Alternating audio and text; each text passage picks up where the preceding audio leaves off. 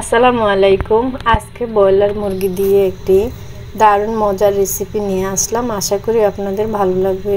তো ভিডিওটি না টেনে পুরোটা দেখবেন। এখন আমি রেসিপিটি করার জন্য একটি ফ্যান বসিয়ে দিলাম। ফ্যানটা ভালোভাবে গরম হয়ে গেছে। এখন আমি তেল দিয়ে এক কাপ তেল দিয়েছি।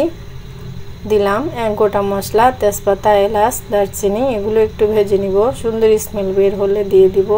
পেঁয়াজ কুচি, পেঁয়াজ কুচিটাকে একটু ভেজে নিব। নরম হয়ে গেলে আমি এখানে অ্যাড করব দেড় টেবিল চামচ করে রসুন বাটা, আদা বাটা আর দুই টেবিল চামচ পেঁয়াজ বাটা। এগুলো একটু নেড়ে চেনে আমি এখানে গুঁড়া মশলা দিয়ে দিলাম।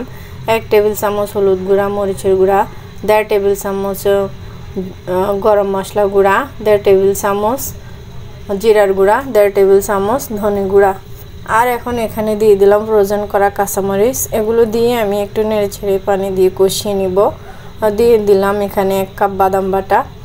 দিয়ে আমি মশলাটাকে পাঁচ মিনিট কষিয়ে এখানে অ্যাড করলাম মুরগির মাংস। মাংসটাগুলো আমি ভালোভাবে পরিষ্কার করে পানি ঝরিয়ে রেখেছিলাম। এখন আমি ঢাকনা দিয়ে পাঁচ মিনিট রান্না করব। পাঁচ মিনিট পর আমি ঢাকনাটা খুলে একটু নেড়ে ছেড়ে দিব।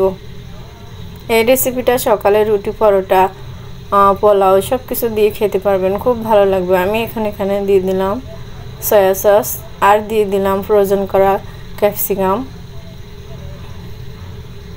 আমি কীভাবে সারা বছর ফ্রোজেন করে রাখি ক্যাপসিকাম এর একটি ভিডিও আছে আমার। চাইলে ভিডিওটি আপনারা দেখে নিতে পারেন। তো আমি এখন এখানে মশলাগুলো ভালোভাবে কষিয়ে কষিয়ে রান্না করব, এখানে কোনো পানি ইউজ করব না। এখন এখানে আমি দিয়ে দিলাম তিনটা আলু, একটু পাতলা পাতলা করে স্লাইস করে কেটে দিছি উপর দিয়ে।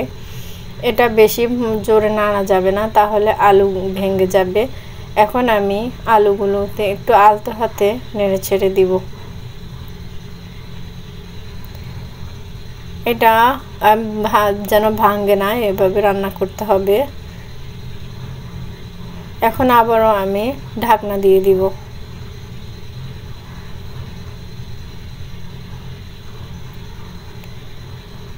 ঢাকনা দিয়ে আমি দশ মিনিট রান্না করার পর মিডিয়াম আছে, এখন আবারও একটু নেড়ে ছেড়ে দিয়ে আমি দেখব আলু সিদ্ধ হয়েছে কিনা।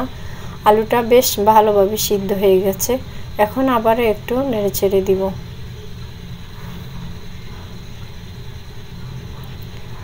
বাচ্চাদের, বড় সবারই কিন্তু ভীষণ পছন্দের এই রেসিপিটি একেবারে ভিন্ন আইটেমে আমি এই রেসিপিটি বানিয়েছি। আশা করি আপনাদের এই রেসিপিটি ভালো লাগবে।